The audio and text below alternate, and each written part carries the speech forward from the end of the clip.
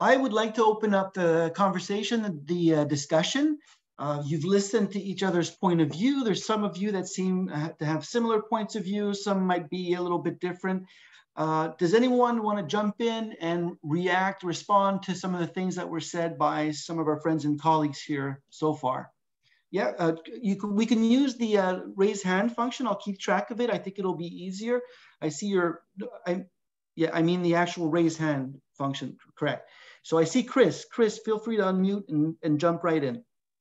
Okay, thanks. Uh, thanks to everyone for the, the, the different different different talks. I, I, I feel like there were different perspectives, but it, we're still operating from within a, a maybe a more refined. Uh, you know, it, there, there, could have been even more perspectives. It would, it would have been good. I just wanted to ask Jim about because I, I, was struck by when you were going through the examples of the cases uh, uh, recently about um, the way in which you know obviously uh, academic freedom can be used to kind of fight for those who the EDI would fight for as well, right? And obviously, there's the fame, the big case the last few years of University of Toronto, um, and you mentioned others as well. One of the things I've really noticed in taking, uh, uh, you know, becoming interested in this over the last few years, it, and, and I mean, we noticed this when we did a survey of faculty last year, is that for certain kinds of people they they almost refuse to think that there was a problem about academic freedom and that they would say well there are real cases like the one at university of toronto. Uh, but in other cases say like Frances Widdowson uh, you know and other cases where people are people's academic freedom is being shut down because they are taking more politically controversial stances uh, uh on that that aren't kind of generally on the progressive side well, that's not really a problem that that's legitimate. I just wondered what you what you thought about that and the extent to which there is as i would see it a kind of almost willful cluelessness about what's actually going on in canadian universities. I'm not sure it's a willful cluelessness. Um, if one looks at the long history of discussions on freedom of expression i'll get to academic freedom in a moment it's a concept that almost everybody subscribes to until they come across expressions they don't like and then, well, it doesn't apply in that case. And similarly with academic freedom, there are lots of champions of academic freedom who say, yeah, when it's people who have ideas like me and they're challenged, then they need to exercise their academic freedom. Uh, but when it's people I dislike or whose views I find odious, well, that's not an issue of academic freedom. Um, and I mean, Widdowson is a is a good example of of uh, a lot, and, and there are many others. Um, I mean, historically, uh, the defense of Marxists who uh, were having their academic freedom violated uh, ran into real difficulty and be defended during the 40s and 50s and 60s, the McCarthy period. Uh, now it's often people on the right whose views are, are attacked that are not defended. Uh, the nature of academic freedom, the problem is the real issue is what are the limits to academic freedom? Um, and the limits to academic freedom are vague in the sense that, uh, I mean, we, we recognize all sorts of limits. We recognize that when, if there's six of us who are teaching different sections of a first year course and there's an agreement amongst the six with one dissenting as to using a common textbook, uh, am I obliged to use that textbook? Uh, I mean, where where a decision is handed down administratively, then that is a violation of academic freedom. We recognize collegial limits on academic freedom. Uh, disciplinary boundaries. If I'm a, a biologist and over the uh, December holidays, I be, I have a I become a born again Christian and want to treat, teach creationism in my first year biology course as science. I don't have the academic freedom to do that nor if I'm an astronomer, uh, can I teach astrology as astronomical science in my astronomy course. So, I mean, broadly, there are disciplinary boundaries as to what is protected by academic freedom, but those have to be very loosely uh, understood, or else they become a form of inappropriate uh, uh imposition. So, I mean, that's a long winded way of saying it's always contested what those boundaries are. I would suggest that uh, the default position has to be allow it to be more inclusive um, and that uh, uh, protecting uh, as long as there's evidence somebody is undertaking their work in a serious scholarly way then their right to pursue that has to be defended even if it's deeply unpopular and our ability to defend academic freedom whether it's in the cases like I mentioned of Valentina Azarova, Kin Yip Chun, which most people would agree with uh, who are progressive. It also means defending people we might find whose views we might find odious. Um, uh, but I, I, mean, I can't answer your question more specifically than that, uh, other than just this general inclination to say, well, academic freedom applies to people I agree with, but not to people I disagree with. That's absolutely false. Can I, can I just have a quick follow up? Because I, I think I generally agree with you.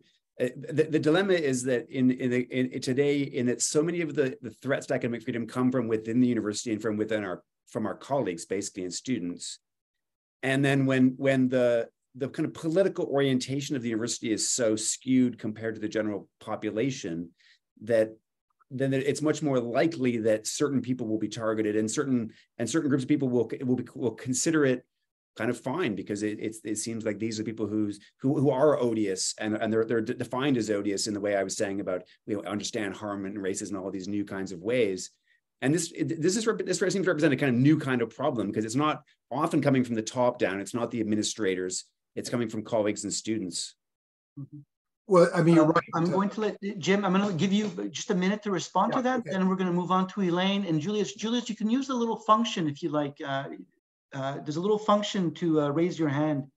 Uh, I guess I'd say it in a minute, Chris, is that threats to academic freedom coming internally are not new.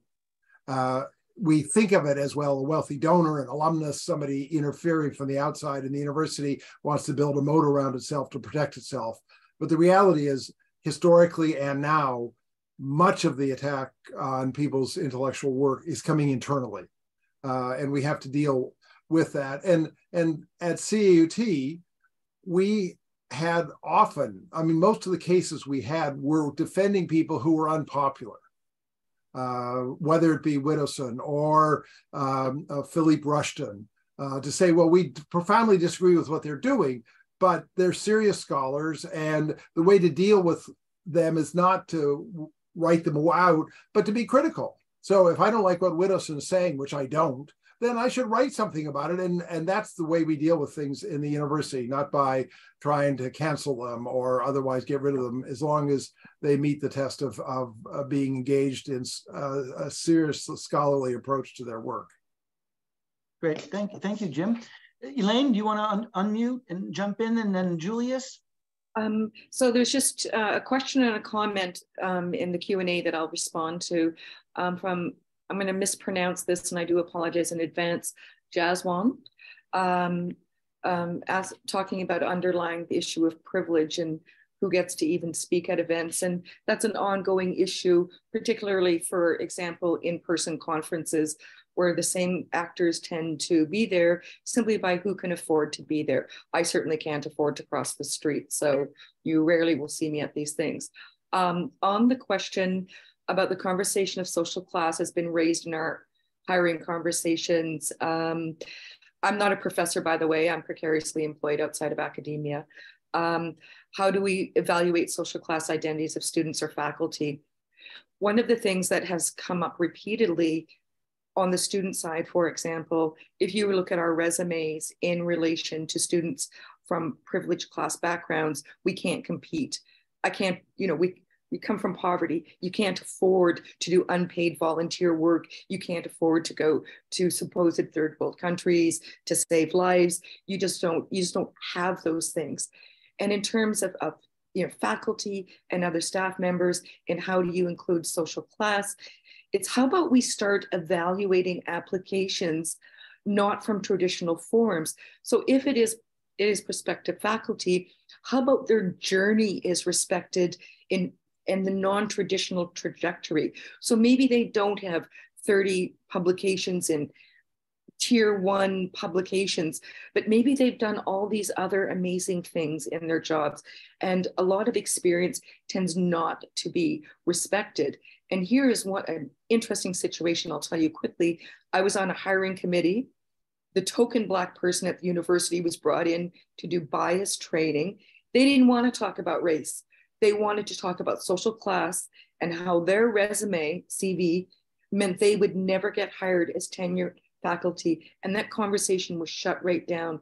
And I know I didn't understand social class other than lived experience until it was my class consciousness was forced upon me when rich students, rich white male students in a classroom were making fun of poor people poor white people and calling us white trash. That was my come to Jesus moment of understanding that there's a term, a label from the world I come from. So, this understanding the language around social class and being able to even talk about it, I would never talk about coming from poverty other than in relation to my research and needing to be really clear about my positionality in relation to my research. So, not like a, I don't have these perfect answers, but I know that hiring processes, and I've sat on a lot of hiring committees as a graduate student representative, they're just choosing the same characters rather than honoring the different trajectories that people come from. Thank you, Elaine. Uh, it's important. What you've said is very important. So I, I took note of it. I will get back to it. Uh, this is just a note for everyone. The Q&A I go through and I try to synthesize them so you don't have to worry about that. I'll be asking all these questions beginning at uh, three o'clock. So now we're just gonna stick to the topics we address amongst ourselves and then we'll open up to the audience at three and I'll take care of that. But you're raising excellent points. Julius has been raising his hand uh, literally physically. So you can put your arm down and speak. There are two. Uh, uh, I'm a little worried uh, about Elaine's position on social class, not because I don't agree with it. On the contrary, as a lifelong socialist, I've always believed that was the most important thing. But I don't think that the fight against uh, uh poverty uh, can be effectively won at the university. I think it has to be won by through redistribution of taxes, uh, wealth, uh, through uh, making certain that no one is in poverty. Uh, I don't think that a committee at a university is in a good position. They can try, but I, I think it will be harder. It'll be just as, as difficult as to solve the problem of other forms of uh, uh, discrimination. But I, what, I, what I do want to point out is that EDI has had a disastrous effect on the university. What we're watching is the decline of the university. Decline of the university, and you can see the following things. In the United States, where it's clear, enrollment is falling. Research is often done outside in private, which is very dangerous because that puts tremendous power into private hands. Uh, but it's done in outside uh, uh, foundations, um, military, all sorts of things. Um, new jobs require university degrees less and less. So people in the United States find that it doesn't really pay to spend four years or eight years studying when the job will not require it. The only thing that is still required and which keeps universities going is the accreditation function in law, medicine, or dentistry, or uh, whatever. Um, the academic community has been shattered by the identity crisis. There's no longer, for instance, you can't risk socializing uh, between uh, professors and, and, and students because it's so risky if you get accused of having said something or done something or hurt somebody. And yet this academic community, and I'm certainly not talking there about uh, any forbidden activities, but merely the notion of a community based on knowledge is uh, disappearing. Um, the student power, the power given to students to evaluate, to decide who teaches them, uh, while some form of evaluation may be useful, uh, also favors those who want it easy and who no longer uh, want to be challenged in their identity views, in their views of the world.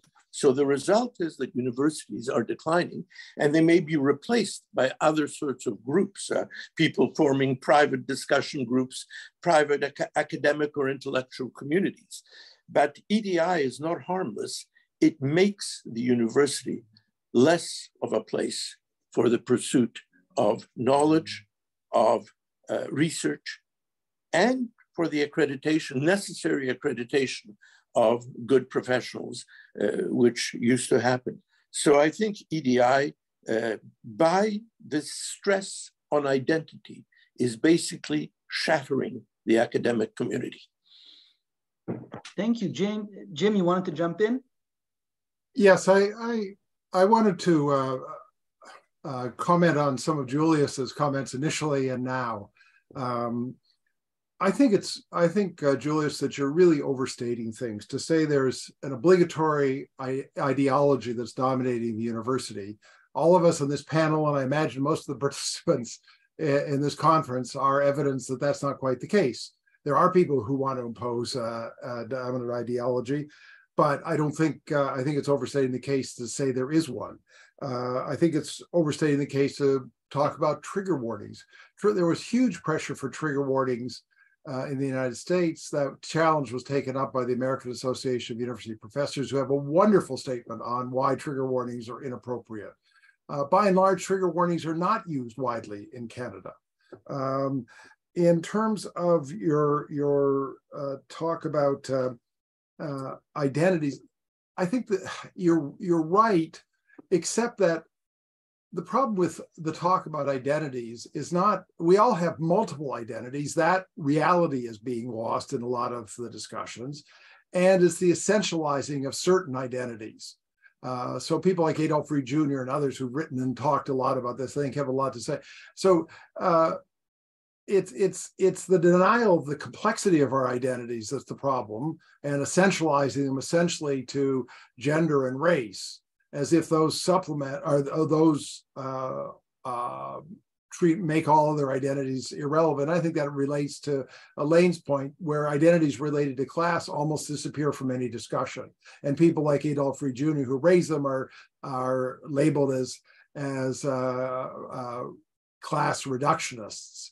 Uh, when in fact it is the reduction of the complexity that's the issue, not the fact that we have multiple identities. And finally, the decline of the university the, the university, in my view, is declining. I mean, we've been writing uh, about this for decades. Uh, Bill Readings' uh, universities and ru- university in ruins. Uh, the commercialization and commodification of the university is having a devastating effect on it, but it, it's having devastating effect because of the with and you didn't mention anything it's the withdrawal of public funding i mean there are american universities like the university of vermont where i think only 5% of its revenue now comes from the state uh, in Canada, the percentage of, of public revenue going to public universities as declining, and the result is a massive increase in in the money that's being having to paid by students, and that means they're less able to participate in the university community because they're having to go to school, they're having to work full time jobs. Uh, it's it's having devastating effects. Um, so, and the community is also dissipating because of it becoming virtual. You know, when I taught sociology at the University of Toronto, or when I was a graduate student years before that at Berkeley, you could go in almost any day, time of the day or night, and there were faculty around. You'd have discussions. I went back to my sociology department uh, 10 years ago. You could fire a cannon down the hall at noon and you wouldn't hit a soul except for some of the staff. I mean, we, we've, uh, the social media and the internet has made us uh, have our colleagues internationally not so much locally, and that's really undermined uh, the nature of the community. So there are all, I mean, you're absolutely right about the university being harmed, but I, I think it's for re reasons beyond those that you mentioned. Thank you, Jim. Julius, I know you want to respond, and I'm going to let you respond. I just want to remind people to raise their hand because I can't see all of you. So raise the little hand. So Chris, for example, I can't see you on the screen. So if you want to jump in at one point, use the little raise hand uh, icon. Same with Mark. Julius, I, please. Yeah, I certainly uh, did mention the lack of funds. I said the whole thing came from neoliberalism and the fall of the university, uh, fun, uh, massive funding. So yes, the lack of funds is behind the decline of the university. It's also behind the group competition because each there's less money uh, to go around. Uh, I agree with you on the technology, but that I guess would be part of what I talked about with the decline of the community. The community declines for all sorts of reasons. One of them is fear, but the other one is also simply that people don't meet. They meet on screen as we're meeting right now, and they don't they don't uh, uh, see each other uh, in the same way. But one way or the other, I think uh, we are uh, in decline and the third reason I would say for the decline is because you cannot stand up for what is considered uh, elite subject. You can't stand up for the great classics. You, you can't insist on, on uh, correct use of English and French. Uh, or you, in Quebec, you can a little bit, but yeah, on, on the French side, but not so much on, uh, on the English side. You, um, uh, there's a watering down of the academic tradition, but it's it all comes down to the fact that there's insufficient funding and not enough of an academic mixed non-identity community. Would somebody like to jump in and follow up on this? Chris, yes, please. Sure. I mean, that, I, I enjoyed that exchange. That was good. I, I found I found myself listening to both uh, of you, uh, uh, uh, uh, Jim and Julius, and especially Jim. I was thinking the only thing I didn't agree with what you said was just that there wasn't uh, a kind of reigning orthodoxy. And I, I mean, I suppose I would take from you the sense that there are gaps in it. It's not complete. It's not, you know, it's not a total he- hegemony. There are spaces. If you already have tenure, you can speak out against things as as as I do. But I, you know, uh, I speak to graduate students who write me emails when I when I write an op-ed in the National Post, and they they say, "What what should I do? I I don't agree with you know pick the issue, you know whether it's EDI or whether it's things I write about historical issues in, in my own discipline." And uh, the advice I have to give them is don't say anything because you don't have tenure. You're just a graduate student. And I absolutely know that you will be punished uh, for speaking out against the grain of a certain kind of orthodoxy. And you know, I I, I know that in my own case because a couple of summers ago, we uh, a couple of us organized this letter writing a letter campaign against the Canadian Historical Association when they made a statement saying that there is a single historical interpretation about Canada's treatment of its Indigenous peoples. It counts as genocide. And ultimately, about 660 or so professors wrote and said this is not an appropriate thing to do. This is a real assault on academic freedom. Uh, that was really the CHA president and the committee pushed that aside. Uh, certainly didn't change their mind. And I know from someone who sat in the committee, they they actually talked about having a blacklist for uh, not citing uh, people, not including people who were who signed that letter. I don't, you know, I wasn't, I'm not on the CHA executive. I don't quite know what happened. So I, I mean, I, I, I genuinely take all your points about the, all the problems of the university, and, and I think we we get along and, and have a lot to say about that. I really do think that. I just think uh, even if the hegemony isn't complete, there's definitely a there are definitely topics that you can speak about and can speak about, and if and if you do speak about them, you have to be sure uh, that you do it very carefully and for positions of relative tenured safety. Thank you, Chris. Mark, I think you raised your hand. I'm not sure. You're muted. No, you didn't raise your hand? Okay. Did anyone want to follow up on, on Chris's comment? Maybe perhaps Jim wants to reply to it or yes, Jim? You have to unmute, you're still muted. I largely agree with Chris. Uh, but what I would say is none of this is new. What the what the what the pressure to conform to a certain viewpoint is at any particular time changes. But if one looks, if one reads memoirs of academics over or looks at histories of universities, there were I mean, when I was a graduate student, uh, I was nervous to raise certain kinds of things uh, depending on who my professors were. Uh, I mean, there's all sorts of dominant views. Uh, you think with also within uh, institutions. I mean, there was a huge battle at the University of Manitoba, which was one of the few, uh, maybe the only university in Canada whose economics department wasn't dominated by a neo-orthodox economist.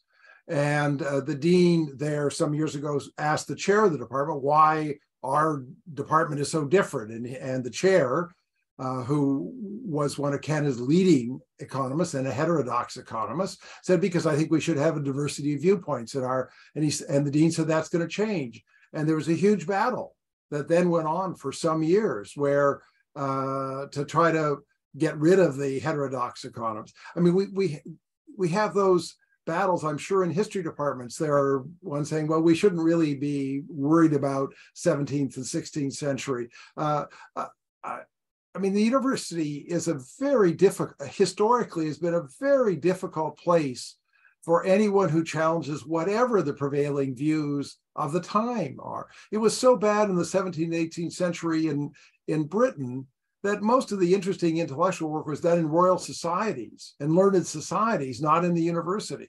So I think we're talking about generic problems. That doesn't mean we shouldn't talk about them, but I think we have to understand that they are somehow endemic in the nature of the university and if anything are more difficult to deal with as a result of that rather than something new that's just come up by the current crop of of uh, people in the university. You, you don't have to convince a historian that something isn't new. It's all old. Um, can I can I build on that? I just want to remind Mark and and uh, Elaine, that you, now I can't see you, so if you do want to jump in, feel free to just raise your hand and jump in. Just building on what Jim said, um, and circling back to your introductory comment going at, when you uh, addressed Indigenous knowledge. And you said, I think rightfully so, that Indigenous knowledge uh, is a methodology, uh, it's, a, it's knowledge that was defended thanks to academic freedom so that these uh, academics can do their work based on, on, on their knowledge. I have a question about this because I, I, find it odd uh, that a um, how, how, do I put how can I put this? Um, what it involves is that a knowledge is tied to a people or to a group, um, as opposed to it being tied to a methodology which belongs to no one really, right? And so it could be questioned. It has strengths and weaknesses and so on and so forth. And I understand that academic freedom helped defend that. Do you have the sense, however, that given that it's so intimately tied to a population, to a group, that it is difficult for academics to even be critical of uh, these types of methodologies, for example. Uh, which you could extend to, do you believe that in universities it is difficult to be uh, critical of EDI initiatives or social justice or whatever it is that people want to be critical of?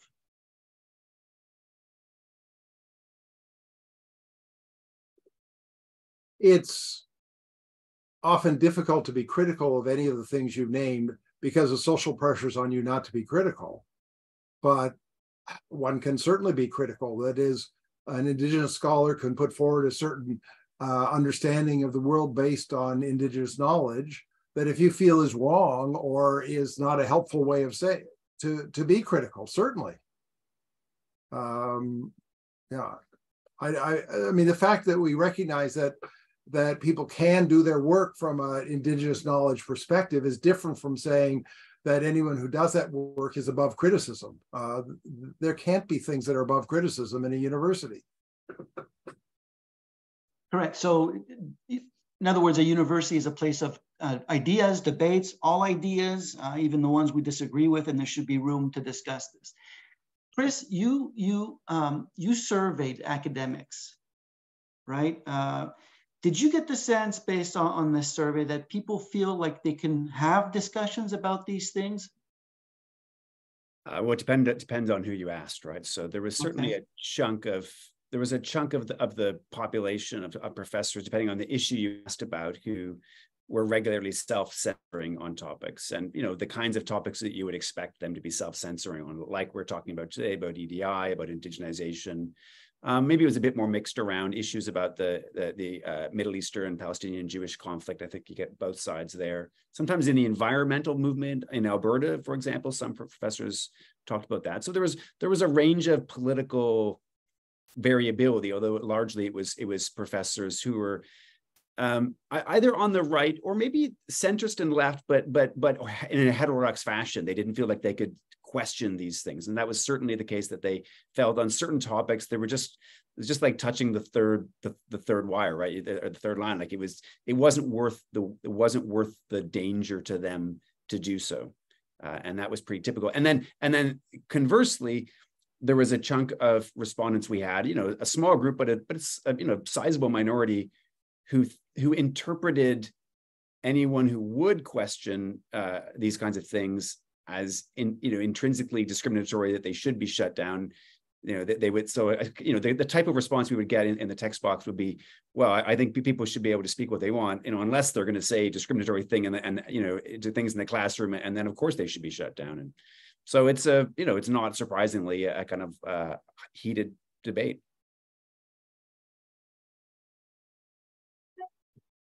Oh did somebody want to respond to that? I'm sorry i think i cut someone off there No? Okay. Uh, yes, I understand. Is it at 2.30, uh, Chris, that you have to leave? Yes. Okay. So I'll, I'll one, let Julia speak. And, and... One thing, I did want to say one thing. Indigenous knowledge is, of course, something that is is important to teach, and people have taught, and Jim correctly uh, identified it as a subject that was saved by academic freedom. But there's one point on which you could get into trouble. I believe that an Indigenous scholar need not be Indigenous. And yet, you know very well that those people who are promoting the thing will insist on it, will think that that is a cultural appropriation. A cultural appropriation is, of course, another thing that is part of the uh, uh ideology. Elaine, yeah, please go ahead. So there's three types of scholars who talk about poverty. There are those with lived experience, and they're very, very few and far between. And they're very explicit about their positionality. Then there are those, I don't have the right language.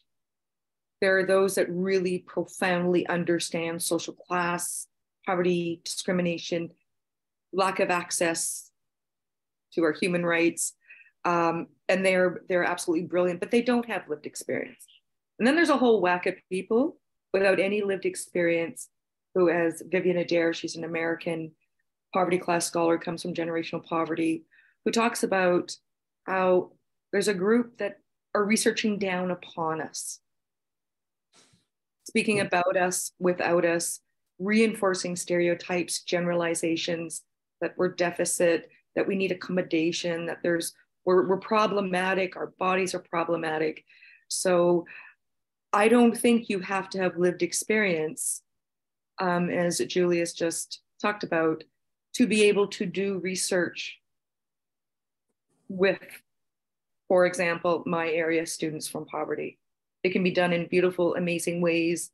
Access to knowledge is literature, things that you know we don't have access. So I want to be really clear about that um, because I find it disturbing. The and I used to kind of believe because I was just so distraught over my experiences in university that why is it so often people without lived experience doing the research but there are amazing people doing research without lived experience who really profoundly get it? Yeah. So I, i'm guessing elaine that you would apply this logic to all groups right? Okay can I circle back to one of the things to your to your comment when we we began this? Um, um, you know, you talked about uh, basically you talked about exclusion um, and exclusion based on social class. So EDI is exclusion based on demographics, um, uh, language, uh, religion, color of your skin. In this case, you're bringing up the uh, social classes. Do you think that the EDI initiatives, as we see them, perhaps in universities, actually solve? I get the feeling the answer is no, but do they solve the social class problem, which should be, some would argue, and this was presented this morning in the discussion we had, some, someone said, it's not about race, it's not about religion, it's really about the social class because our societies have focused on individuals as opposed to groups because groups do not capture the lived experience or the experience of individuals. And so their current state, for example, as reflected in social class, might be a much better way of going about this. Do you think we're on the right track with the way we do things to make universities perhaps more accessible to people who don't otherwise have the means to ha have access to it? Um, that's an absolute no. So in my work, um, in my PhD, we looked at the gendered nature of poverty. So a group of women came together, and there was there was no yes, we were all women. Um, so women identifying people. I had to keep the research, of course. You professors will be happy. I kept my research very focused so I could finish. Um, but it intersected with age, ability, parental status, geography, race, indigeneity, um, but social class was at the center of it. So what I have found with EDI is that this, this homogenizing groups, as I call it, as I said, social characteristic silos, is assumes all indigenous look, folks look the same, all black folks look the same, all LGBTQ folks look the same. And that's not the case at all.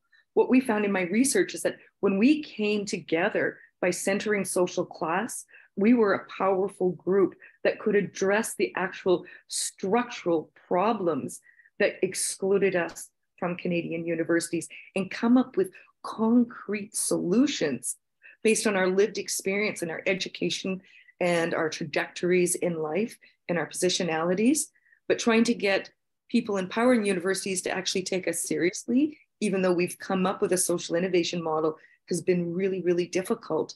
So I'm coming alongside women who can apply for a job that I could be more qualified for, but I can't apply because I'm a white woman.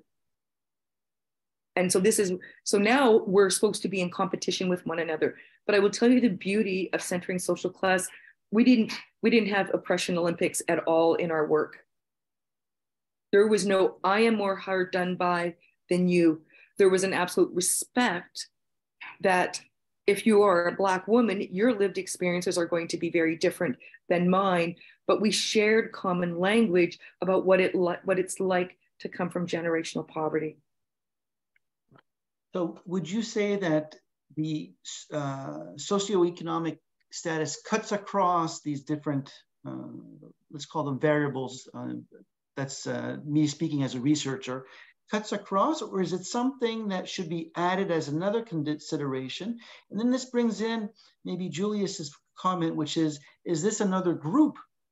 Um, you know, asking, perhaps rightfully so, of course, for you know, uh, the way he put it was me, me, me, right? To be recognized and to be to have a you know a seat at the table. I'm going to say yes and no, um, because to create just another group, we're just going to homogenize people from poverty like it's always done. I mean, there's all these dominant narratives about us that are that are really damaging and stigmatizing and othering. So maybe rather than another group, we start looking and honoring the cultures and heritages and knowledge systems that we bring to the table and working towards destigmatizing. But we can't ignore that social class cuts across everything. So, for instance, there is a triracial student that I'm colleagues with. And she wanted to center social class and poverty in particular in their work. And that did not sit well with power because they are one of their um, their, their father is black, so they're partially black. And what they speak about is that race matters until they go home, but they never, ever, ever escape poverty. So, how can you ignore that social class piece? But I will say, if there was another co- category at a university, there might be a poverty class club that I could join and at least maybe I would find my people. But again, now we're going to be homogenizing people without understanding the intricate ways that our lives are shaped in, in, in the different identities and different lived experiences. But it is really hard when we don't even have anything to start with. In a, in a lot of universities, and this is the result of CRCs, Canada Research Chairs, for example, um, a lot of this is done through I'm going to simplify and I'm perhaps I'm oversimplifying, but through quotas, you know, so you have to have quotas for different demographic groups to reflect perhaps the Canadian society or Quebec society, or it's not clear what level of, of, of uh, society we're trying to reflect. How would that, you know, considering that um, and considering that, you know, uh, social eco economic status doesn't seem to be considered, what would you ask these EDI because we have some here with us today in the audience, right? People who run EDI groups and who implement EDI initiatives. Um, what do you think they should be doing different and how? So I'll answer this based on what I have learned over the years. And widening access and participation models in universities, for example, in the UK, Australia, New Zealand, they have not been very successful. So you can get the say that here's a quota, you got to bring in this group of students and this many, but nothing structurally ever changes. So we come into places where we maybe we don't have the right language, we don't have the right educational trajectories, we're homeless, living precariously, Um, we don't have familial support systems. We don't find our knowledge systems in the curriculums. So you can bring us in, but really should, I wonder, should we really be here? Um, quotas aren't going to help. And that's why sociology is so critical, in my opinion, is if you're not going to address the structural reasons for our exclusion in the first place, we're not going to find equity and inclusion. And I would ask EDI people, don't just follow the Human Rights Acts and the Federal Employment Equity Act. You should be pushing Universities Canada, for instance, who a couple years ago did their first ever EDI survey of, un- of their member universities, and they said it was from an intersectional lens.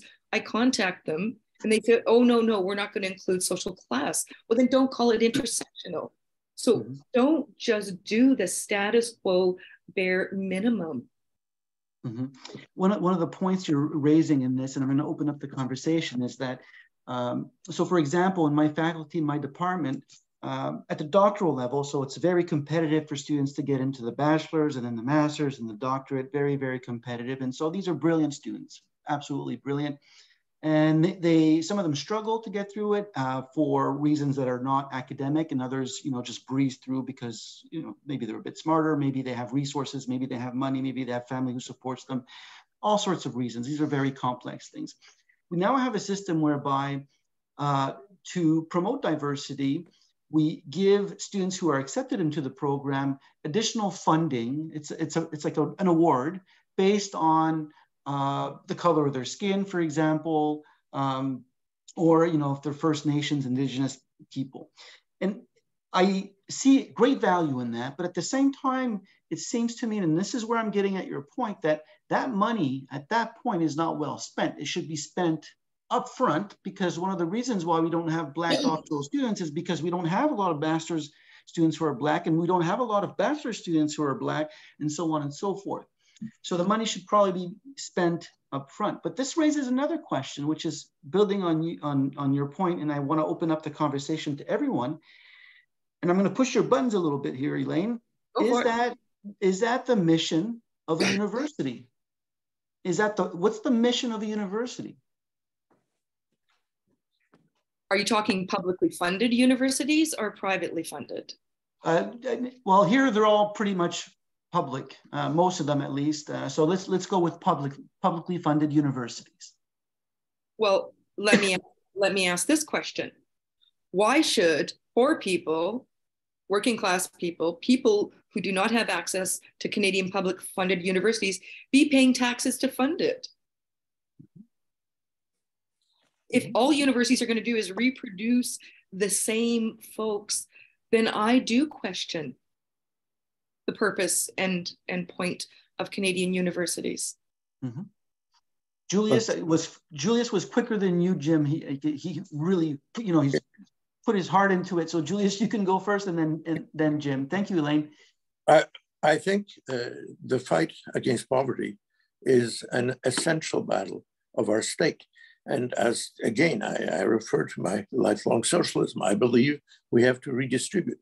But the purpose to, redistrib- uh, to redistribution is to make sure, and, and I think uh, Martin uh, pretty well showed that, that at the top level, there will be enough Black candidates or other candidates, uh, minority candidates, handicapped candidates, if the redistribution takes place at a lower level and they go through schools um, and uh, good schools and have good health care and so on, there is no reason why they would not be uh, sufficient numbers to uh, satisfy uh, those who think that it's always the same faces that come through.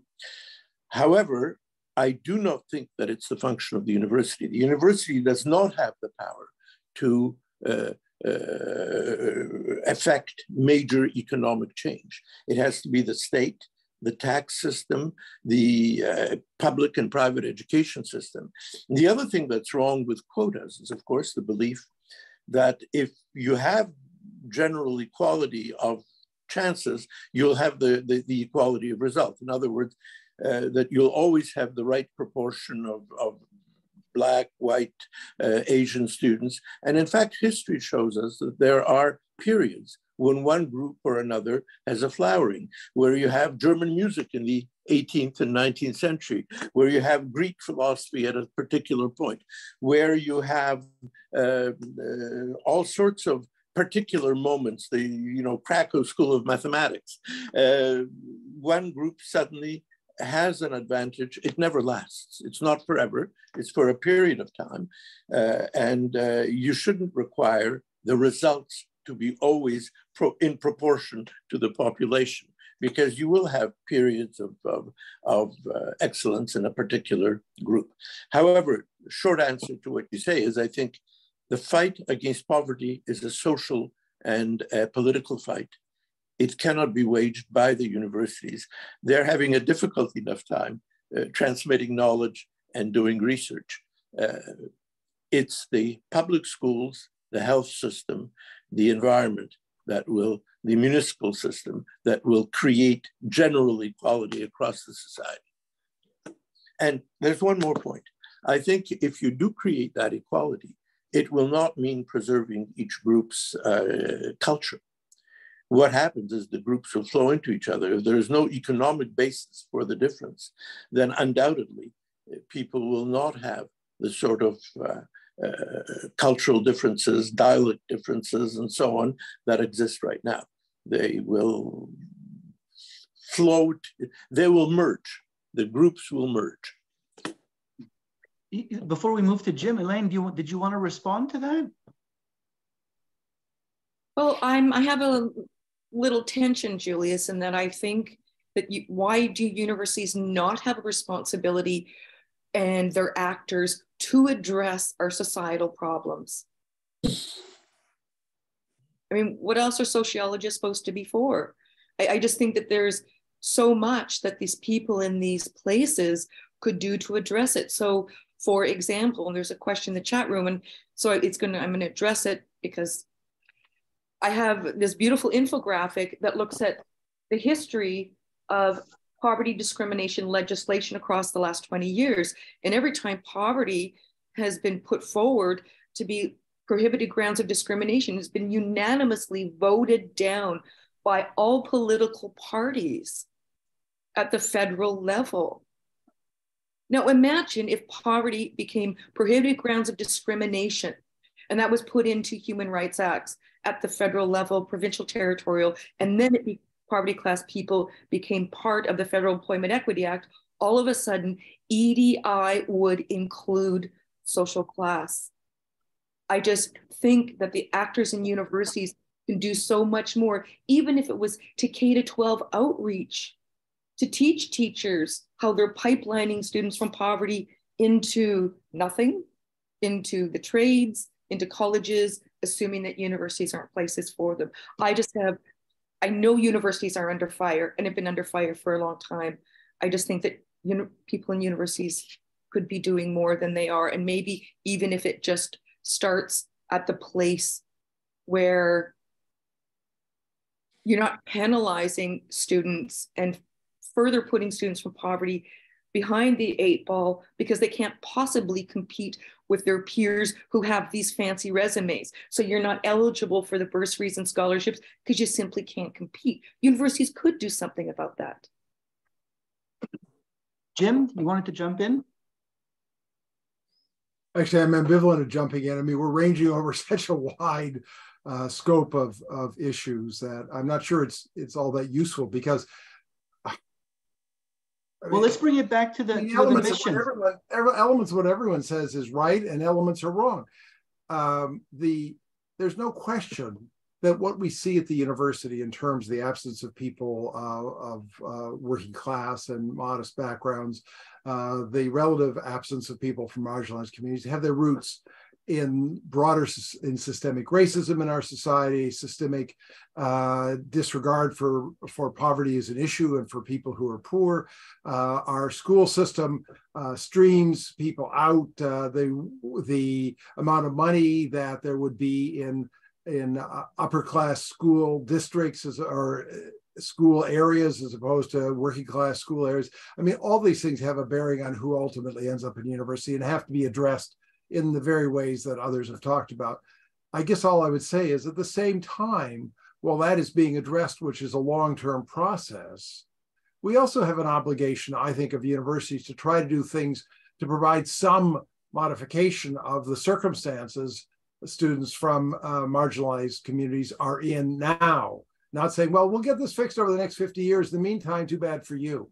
Uh, and, you know, Julius does rightly point out that there have been times when different groups have flowered and so forth. But there are also uh, indigenous people in this country have been waiting hundreds of years for their time to flower, uh, and it hasn't happened. Um, you know, what number of communities today don't even have uh, suitable drinking water? I mean, we have huge problems that have to be addressed, and I think universities have a play a role to play in trying to. They're not the solution, but in the meantime, it's not suitable for the university to say, "Well, we're just going to take whoever comes along, and and we have no obligation around these things." Uh, I think we do. Mm-hmm. Those are great points. One of the things that Elaine referred to is, uh, you know, academics should be interested in these diverse populations, for example, through research, outreach, and so on. If I got this correctly, Elaine, um, and that's what university professors do, right? Normally, we do quite a bit of research. We teach. Uh, we we try to address issues that are sometimes difficult to be discussed uh, outside the university. That's that's part of our mission. But should we be going further than that? And I think Jim is sort of saying yes. Julius, I think, is saying kind of no, I think.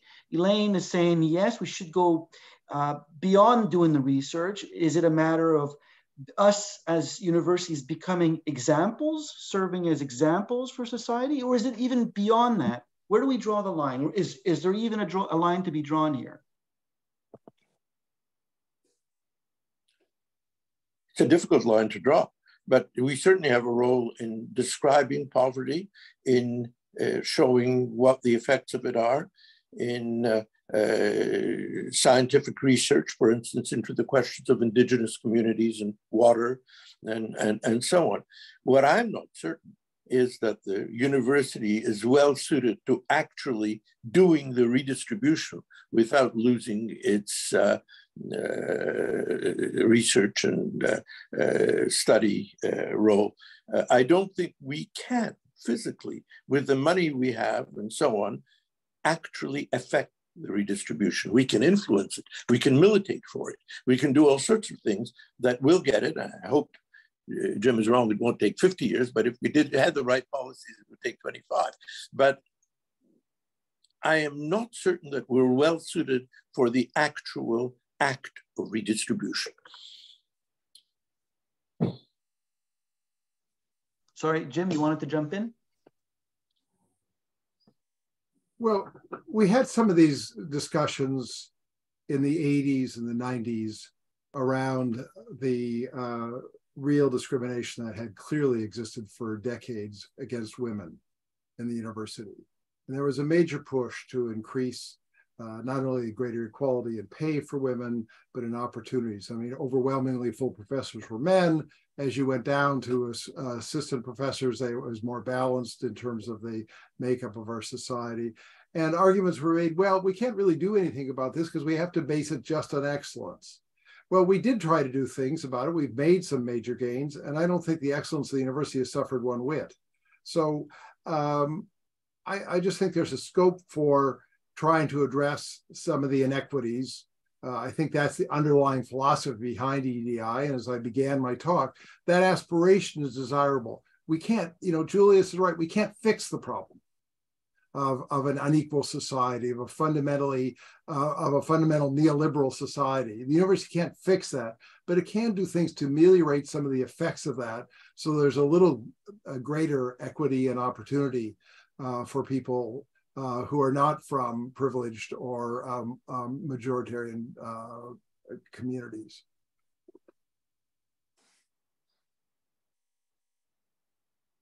Mark, is that, are you raising your hand? Just, just waving. Okay.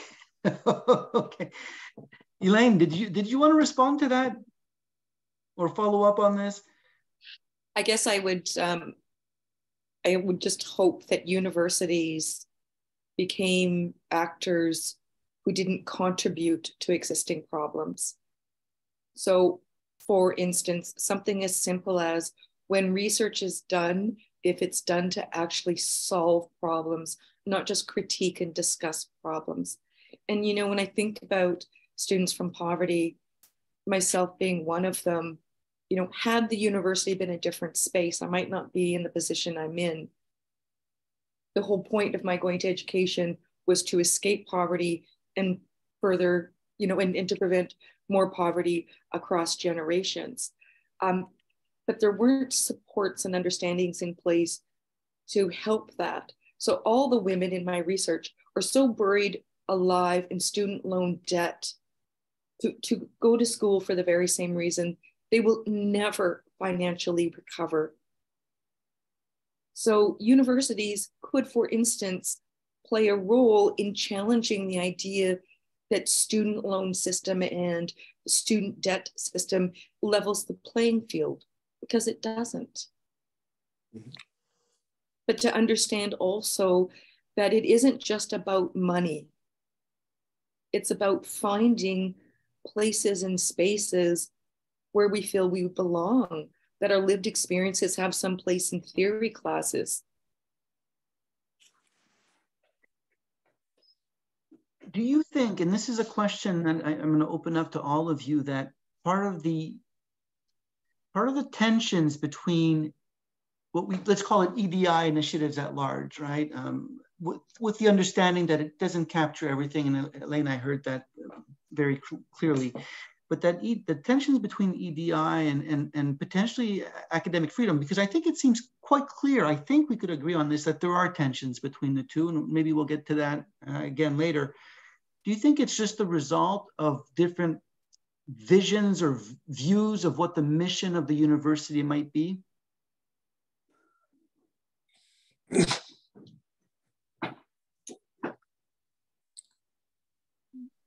Julius, did you want to answer that first? Well, I, I think it's in part that. It's in part uh, uh, the idea that uh, uh, the university is, is, is an instrument of redistributing. And, you know, when you look at one of the things that I mentioned before, the accreditation um, uh, function of the university, obviously, by changing our admission into medical school and law school, we could do some very minor redistribution. We could make certain that there are a few more doctors of this origin or that, that origin. But I think it would generally be, and it's not that we necessarily shouldn't ever do it, but it would generally be rather ineffective. Nothing as effective as a, a, a books in economics that would induce a society to uh, have a, a, a, a, more egalitarian system uh, in, terms of income and, and property. Jim, did you want to respond as well? Um, no, I'll pass for now. You'll pass for now. Okay. I uh, we only have a few minutes left left before we get we get to questions. Uh, Julius, I want to get to a, point before we move to the questions, and I want to ask you this because one of the things you're saying, and please correct me if I'm wrong, and, and I apologize in advance if I push your buttons on this. You're saying one of the problems with the EDI and the culture around this, um, and in some ways I, I definitely 100% agree with you, is that um, it's a lot of identity politics or group identities that are clashing, correct? Um, and you know, I'm French Canadian. My family's been here since uh, 1666, so they've been here for for a while. Um, and, and that comes with a history, of course, and and it comes with a it shapes my identity. You're you're you're Jewish. I think you were born in in Poland. Uh, that comes also with uh, you know with a lot of history and shapes your your identity. And and as you know, McGill had quotas um, on Jews for you know the longest time don't you think that, uh, I guess it's twofold. The first one is, is it even feasible to think that people can move beyond these identities and the groups they identify with to avoid these conflicts? That's the first part. And the second part is, do you think EDI initiatives might be a way of giving access to some groups to uh, universities just like uh, Jews were given access to universities at one point, uh, you know, when they lifted the quotas and French Canadians and so on and so forth? Uh, I don't really believe, I think I have a totally, pretty well totally negative view of identity. Uh, I think uh, obviously we can't know everything and people can be specialized in, in, in one type of music or one type of literature. Speak, we can only speak, uh, most of us are limited to a few languages uh, and so on. But I, uh, just to give you your example, uh, it's true that I was born in Poland of a Jewish family, but I, I'm not Jewish. I've consciously said I don't want it, don't need it. And uh, it's not a question of not being observant, it's a question of rejecting. I think people should move away from identity, uh, of course, voluntarily. If somebody wants it, it's a matter of an absolute freedom of association. There is nothing to be said. Uh, but I uh, personally uh, do not find parochial identities to be a satisfactory way of expressing one's cultural, creative, scientific thought. Uh, I, I, do believe in mixing, and I think the ideology of, of people, groups flowing together is the one most conducive to producing a, a, a just society. Um, the uh, obviously, of course, we are the product of what we learned in childhood and and uh, of our parents and obviously of the history, so that French Canada uh, influenced what you are, although it also influenced what I am because I fundamentally grew up in Quebec. Um, uh, the uh, to me, identity is not a hundred percent negative, but it's a ninety percent negative. It's something that people should strive to rise above. And uh, uh, the more you create, what Joe Clark said was a terrible thing. He said, Canada is a community of communities. I don't like communitarianism. I think Canada is a place for individuals to live together uh, and without any uh, necessary uh, uh, communitarian belonging, as long as you don't force them to do that. Thank you. I, I, I mentioned this because uh, the uh, being born in Poland. I hope I didn't offend you because it's no, it's no, on, no. It's on Wikipedia, so yeah, I'm, I'm, I'm, i did my research, um, and, and, I guess you're you're Jewish, just like no uh, pardon. I have no no shame. I don't think my ancestors are any worse than anybody else's. I just I'm a believer in universalism. I haven't joined any other group. Yeah, well, that's one of the things you mentioned in your intro. You know, universalism. I, you know, I. Uh, I guess I'm a recovering Catholic myself. I haven't quite gotten there. We're going to open up for questions unless somebody wants to. Oh, Jim, sorry, go ahead. I saw I just saw your hand now. Yeah, I actually I I want to recommend a book for people who are interested in the issues we're talking about. It's one by Susan Neiman, N-E-I-M-A-N, uh, who is an American philosopher, uh, and it was just published this year. It's titled "Left is Not Woke," uh, and the point she makes is we talk about this in terms of identity, but the fact is all of us have multiple identities. Um, you know, Martin, you're French Canadian, you're a university professor, you may be a parent. Uh, I mean, we have multiple identities. The issue isn't identity. And, you know, there's talk about identitarianism. Problem is tribalism. And she talks about it in that way. That is where we take an identity, let it supersede everything else, and it becomes a kind of tribalism. That's the problem. And she lays it out nicely, which I don't have a chance to do in the few minutes we have. That's that's a very very interesting point. Very very interesting point.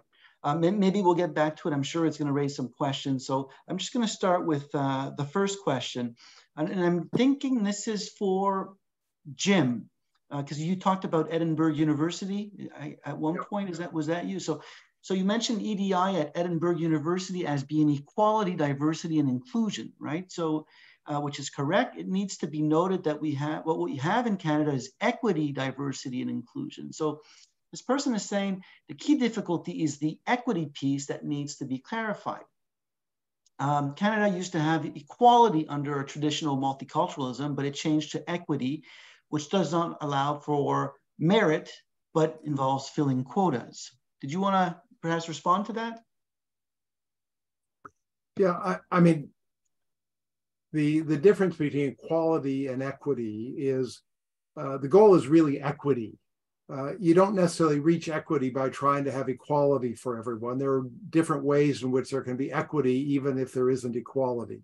So, uh, insofar as the Edinburgh um, uh, definition, I was I just grabbed something to talk about broadly what EDI was as an aspiration, but equity is the proper term. Equality, uh, trying to get everyone to the same income level or or everything like that is not necessarily but we can have an equitable state even if there are differences. Okay. Did somebody want to jump in and, and, comment on, on that as well? Please just unmute yourself because I can't I can't see you right now. Uh, just a, a follow up to that to that question, Jim, because you said and rightfully so that we are multiple identities, right? So how do we make that how do we reflect that when we approach things through quotas? Is that even a good approach? Because a lot of EDI initiatives are built on quotas. Which, which groups are worthy of being considered um, in these inclusion, diversity, and, and uh, equity initiatives? It's a tough question. I'm sorry. I mean, it's a tough question in the sense the the aspiration is to have the university the people who are at the university more reflective of the general population of society.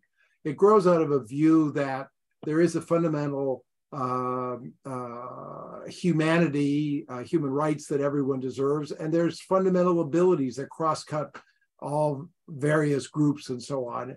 And so the university, as it was in Canada in the 1940s and 50, overwhelmingly white men, what, there was something wrong with that. I mean, everybody would acknowledge it uh, uh, trying to, I, am not sure that there's an answer saying, well, these groups do, you know, I, I don't think that's a fruitful direction to go.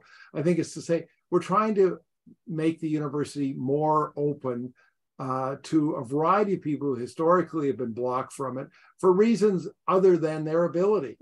They've been streamed out, uh, they've lived in poverty, uh, they've been in uh, marginalized communities of one sort. There's a whole variety of reasons and we're trying to overcome those. And I see EDI in its best sense as trying to do that, as saying the university should be a place that is more reflective of the diversity of society because talent is spread across the diversity of society.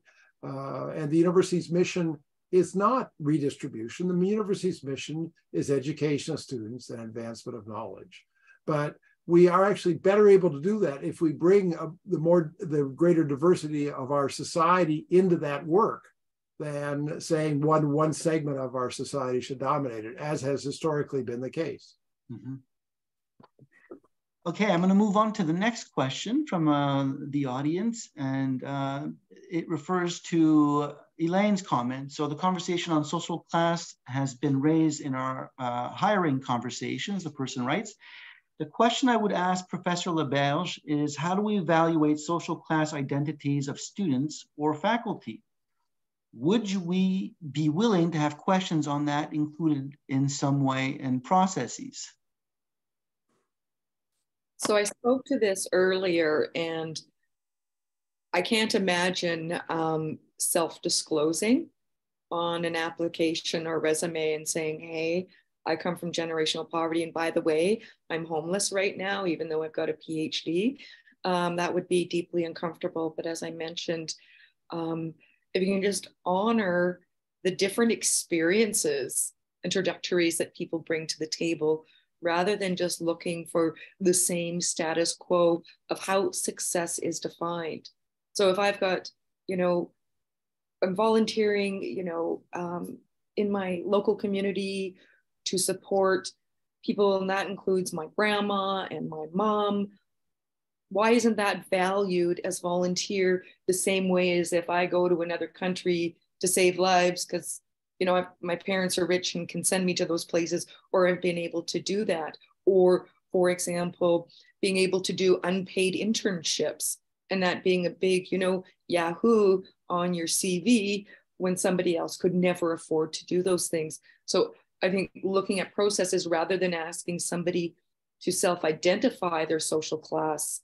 Um, and there's more literature coming out on middle class folks, whatever that is, are, are saying that they're, you know, in the UK that they're working class because they don't want people going, hey, you're doing, you know, yay, you've got all these benefits because you're you're middle class. So now we've got these like weird class things going on, but just figure out why you're disqualifying that prospective student or that prospective um, tenure track prof. And why do you think that they don't hold up to that person that went to Oxford University? And does Oxford wondering, University auto automatically mean that you're, you know, the superstar of all superstars? I wonder though, in, in, in concrete terms, like I understand being open in terms of, for example, past experiences that are reported in resumes and so on and so forth. Let, let me back up for a second. I, I got a lot of heat uh, a couple years ago because our program wanted to implement a system of points where we um, gave points to people based on their demographics. And so this was assessed, of course, you can assess, uh, you can see the color of a person's skin. And so through the interview, you don't have to ask them if, if they're white or black and, and so on. But there are things that are much more subtle, obviously, you know, ident gender identity, sexual orientation, and so on and so forth. And because we wanted to have something much more diverse in terms of the pool, some amongst us felt that we should actually inquire about these things, which to me was completely out of line, un, not feasible and, and, and unacceptable for various reasons. You can imagine someone might not be comfortable with their sexual orientation and so on. There's in a situation of stress and it's frankly none of my business. So how would you assess this for issues related to poverty? You know, is it through an interview? Is it, how do you ask for this? How do you, how do you, how do you document it? And how do you factor it in? I don't have any easy answer, but I will tell you if if you came from poverty and you were interviewing me, we would have a very different conversation than somebody without lived experience. We would, and it would be an amazing conversation because we would speak the same language and um, you would treat me in a different way than not always. I'm not trying to stereotype and say, oh, you know, people who aren't from poverty are all evil or bad or anything, but it would be different. But if you ask me to check boxes, I'm going to have a difficult time. And we can look at this social characteristic siloing again of university applications where you might be able to check first generation student, or if you go to financial aid, you might check that box. But not all students are first in their family to go to university come from poverty. So there's mm-hmm. assumptions being made around that. So I don't have concrete solutions to give to you other than it would be amazing if there was social class diversity on the hiring committee or the student application, you know, choosing committee, whatever you call these committees, that maybe organically these things would emerge. That would just mm-hmm. be a really good step is that social class diversity. And that's one of the challenges of EDI leaving out social class is that we don't have that kind of diversity. And so there's only been a handful of profs in all my years in university that will even publicly talk about coming from poverty. It is just such a hidden thing. So, and, and then will you face further discrimination? You know, do you want to put that um, check off the LGBTQT box? You know, what risks come with that? And mm-hmm. is it worth the risk? So I'm sorry I don't have any concrete. It's complicated, of course, right? But but the more we talk about it, the more we can come up with concrete solutions that aren't going to cause short and long term harm. Okay, thank you for that. I'm gonna again. This is a question from. I'm gonna switch gears a bit with another question from the audience. This is someone who asks, uh, who says, although the most extreme threats to academic freedom and institutional integrity come from students and faculty, would you all agree that weak administrators, this is this person's uh, term, not mine, would you agree that weak administrators who employ a, a veto and overreact to apparent threats and perceived crisis greatly increase the problems? This is a question to all of you.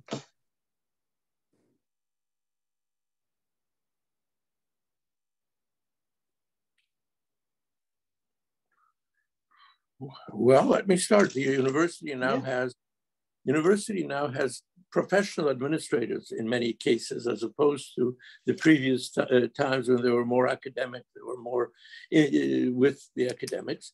And professional administrators in business and everywhere else are very cautious. They're afraid. In addition, we have sponsors and sponsors for research, company sponsors, national sponsors, and so on. And uh, well, you saw the example of the University of Toronto, where there was a three clear threat of withdrawing funds if a, uh, a perceived anti-Israel uh, person were hired. Uh, well, we have the same problem. If a group of students were to start demonstrating in front of some company that is uh, uh, supporting research, saying they've got a, uh, a, racist professor there, or they've got racist policies, universities, the administrators are, are usually not ones to stand up when that type of institutional threat comes up. So one of the problems of having identity groups is that those are the tactics they use. Demonstrations, writing to sponsors, um, uh, pickets, etc., precisely to remove perceived threats to their uh, favorite cause. Uh, and university university administrations are fairly weak. They don't have a tendency to stand up and say no. Jim? Well, uh, I mean, the first comment just follows from what Julius was saying. People do demonstrate, do they do protest? That's part of what free expression and democratic society is about. So they have every right to do that. Um, I, I, mean, I first disagree with the premise of the question, which was that the principal threats to academic freedom come from students and, and faculty. A lot of the threats do come internally, but uh, I mean, if I, you know, Kin Yip Chun, the example I gave, was one that came internally, but very much what happened to Valentina Azarova at University of Toronto recently was an external threat. They come from all, all different sources. Uh, the willingness of administrations to stand up to threats, wherever they come from, um, is quite inconsistent. Um, there are some universities where there's a tradition of this. I remember being at a conference with uh, Vice President McGill. This was a decade or so ago. Uh, and we were talking about academic freedom and, and the pressure the donors put on. And she said, rightly, well, sometimes I just have to tell a donor when they say we'll give you we'll give you $10 million provided you do X or Y.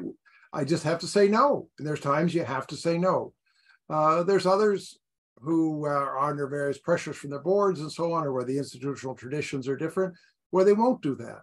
Uh, and no doubt the decrease in funding from for public universities is making senior administrators much less willing to say no to donations and to various kinds of partnerships, uh, collaborations with corporations uh, where there are strings attached. Um, so it, it's a complex uh, thing. I, I, haven't found a pattern in terms of um, all the senior administrators being weak or all being strong. Uh, certainly, when I was at CAUT, I bemoaned the fact that so many were weak, uh, but there were also ones who were quite uh, quite uh, uh, outspoken about defending academic freedom. Sometimes I wish the faculty association has been as good as their administration. Uh, other cases, it was just the opposite. The faculty association pressed the administration to do the right thing. We're just in a very difficult circumstance now with the underfunding of universities, with the lack of political commitment to universities, that does create a sense of vulnerability that uh, increases the possibility that administrations will give in to inappropriate demands from donors or parents or students or uh, alumni or whomever. Mm-hmm. Yeah, Julius, you, if I remember right, you last year, I, I think it was, wrote a paper about this, the issue of m- money in universities and priorities of universities. Yeah, do you want to comment following on on Jim's? Yeah. Uh... Well, I said very much what I uh, said today that neoliberalism and therefore the decrease in funding made the universities vulnerable. And that the result is that you can hardly stand up to uh, pressure. Uh, but of course, I always have the same idealistic solution, which is diluting the groups, discouraging uh, one issue groups and so on. You can't force it in a free society. As Jim pointed out, demonstration is a basic right in a free society, and you can't tell them not to demonstrate. But uh, I think uh, a lot of the problems in universities come from the, the fact that there is fierce competition for rare funds and that people are, are acting accordingly and trying to get it uh, divided in accordance with their interests.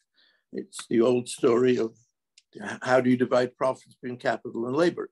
How do you divide all sorts of things between competing groups?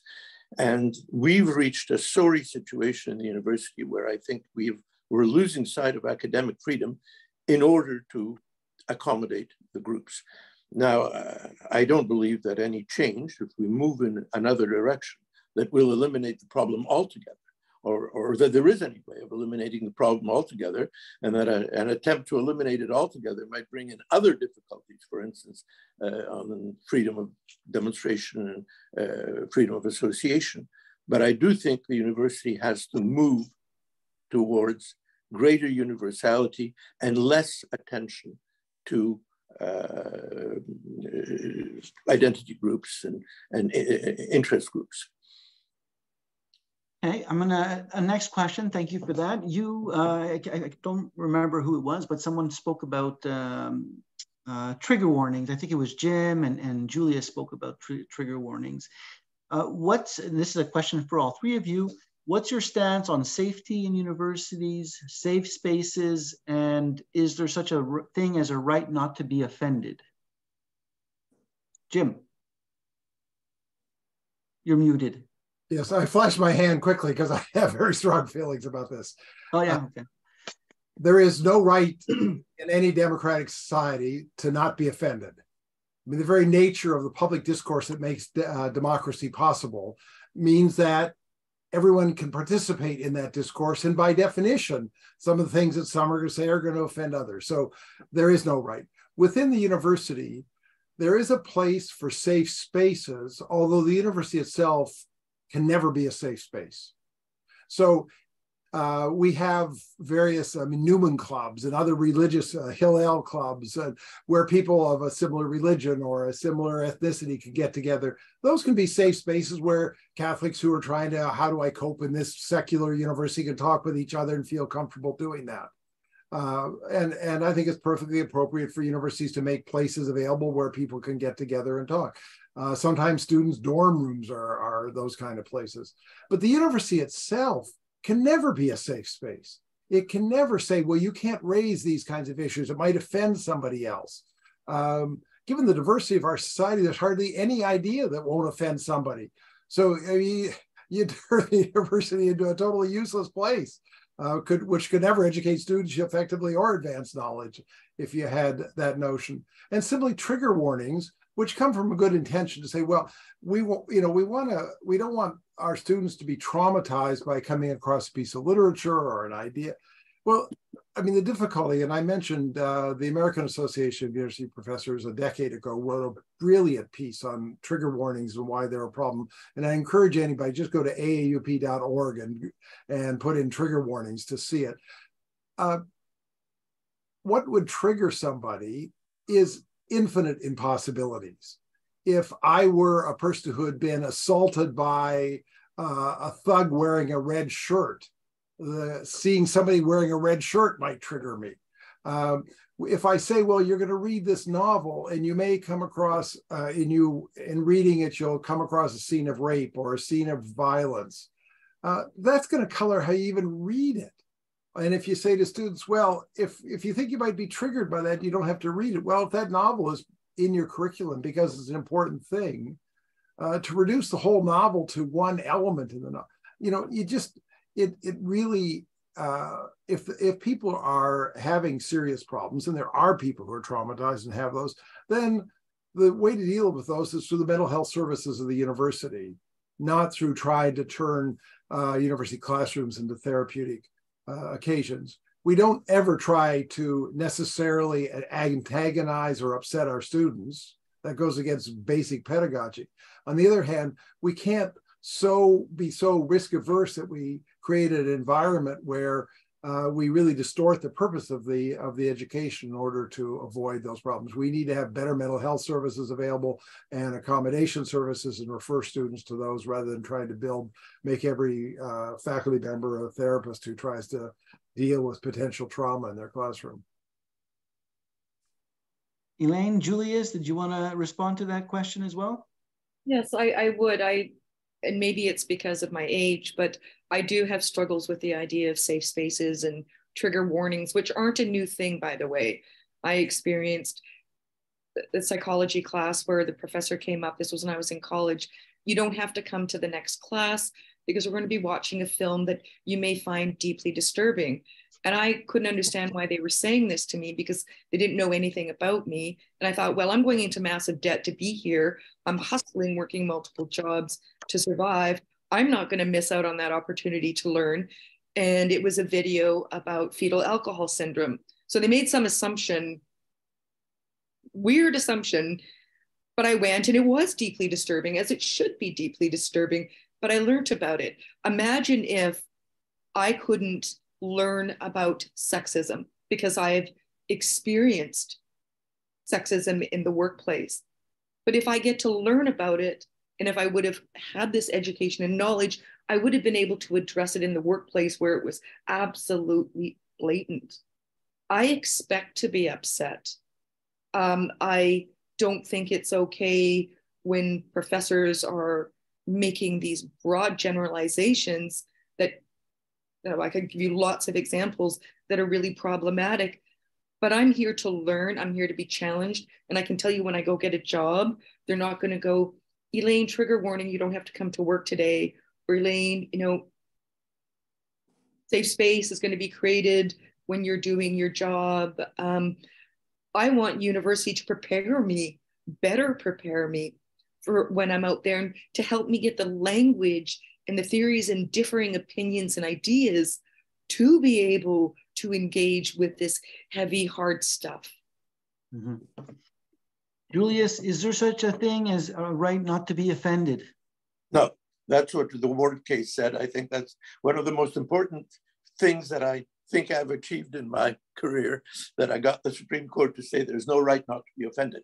Now, when it comes to safe spaces, of course, the university should generally be safe. People shouldn't be attacked on campus. There should be a, a degree of physical safety. I also agree with Jim that people can have a private club if they want to meet uh, other people who have the same problems as they, they do. There's nothing wrong with that. That's freedom of association. But I think there is no intellectual safe space. There is no place where somebody cannot get up and uh, uh, say something uh, that may be offensive to other people. And I do remember sitting in a Russian class where a girl put up her hand and said uh, she sympathized with the Nazis in her anti-communism. I thought it was preposterous, but I didn't go home crying. I just said, let, let her think whatever she wants and uh, the um, uh, the notion of uh, a safe intellectual space is antithetical to the university. So physical safety, yes. Any other safety, no. And uh, trigger warnings are not necessary. Uh, I, I, think when you're studying subject, and it especially applies to humanities and social mm -hmm. sciences, necessarily controversial things. And uh, mm.